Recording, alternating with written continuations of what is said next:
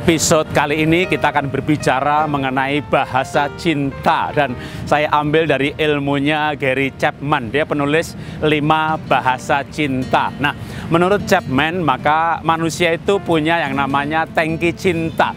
Ketika orang tangki cintanya penuh, maka dia hidup bahagia, dia berperilaku positif, dan karena tangkinya penuh, maka dia mulai memberi, gitu, kan, memberi cinta, memberi kebahagiaan, memberi perhatian kepada orang-orang di sekitarnya. Sebaliknya, kalau tangkinya kosong, maka dia akan mulai minta perhatian, minta dimengerti, minta dikasih, minta disayang. Wah, dia terus minta berperilaku negatif. Kenapa? Karena tangki cintanya kosong. Karena itu, saya akan gunakan hal ini untuk memberikan tips bagaimana berumah tangga, baik pernikahan ataupun mendidik anak, hidup bahagia. Karena itu jika Anda punya pasangan ya mulai berperilaku negatif, dia minta disayang, dia sensitif, dia merasa nggak dicintai. Nah itu artinya dia tangkinya kosong. Karena itu caranya ya sederhana, isi saja tangkinya. Kalau Anda nggak mengisi tangkinya, dia tangkinya makin kosong. dia makin berperilaku negatif. Tapi orang yang tangkinya penuh, dia baik, dia senyum, dia ramah, dia berperilaku positif gitu ya. Wah kebaikannya muncul, tangkinya kosong.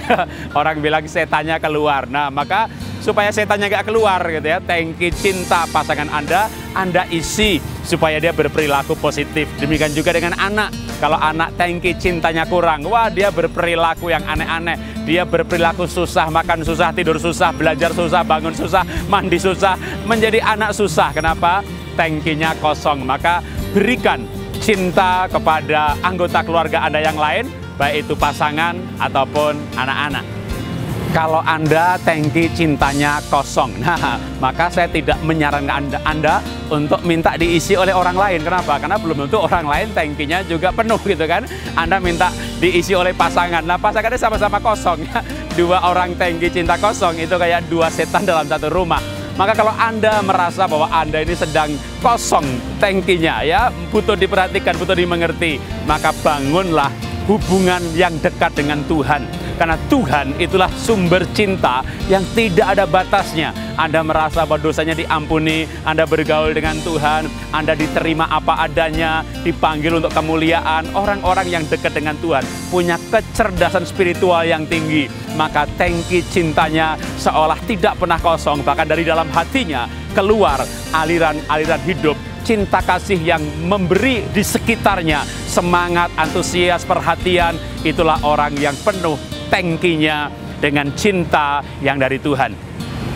Ada konsep yang namanya siklus tangki cinta. Jadi ketika Anda sudah mulai punya cinta, nggak harus penuh, Anda mulai melangkah memberikan cinta, perhatian, kebaikan kepada orang di sekitar Anda, misalnya kepada pasangan atau anak, supaya apa? Supaya mereka pun juga terisi, karena orang yang terisi tangki cintanya, dia juga akan memberikan orang sekitarnya, artinya balik kepada Anda, sehingga akhirnya terjadi siklus di mana Anda punya tangki cinta, Anda salurkan kepada pasangan, pasangan kembali kepada Anda, ini semakin lama semakin banyak, sehingga anda menjadi keluarga yang bahagia karena satu keluarga berisi orang-orang yang memiliki tangki cinta.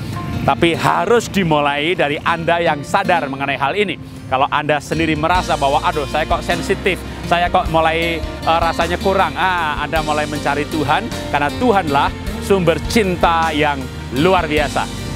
Hukum berikutnya adalah lebih bahagia memberi daripada menerima. Karena itu anda harus proaktif dengan memberikan cinta kepada orang di sekitarnya. Cinta sendiri apa sih? Cinta itu murah hati, lemah lembut, tahan nafsu, penguasaan diri, tidak egois ya. Kasih itu memberi, maka berikan. Berikan apa? Berikan apresiasi, kata-kata dorongan, berikan perhatian, berikan sentuhan fisik, berikan waktu untuk berquality time. Ketika kita memberi, maka kita akan mengisi tangki cinta orang-orang di sekitar kita yang akan juga kembali kepada kita. Mari kita belajar hidup ini untuk menjalani, menghidupinya dengan cinta. Cinta terbaik yang kita dapatkan dari Tuhan.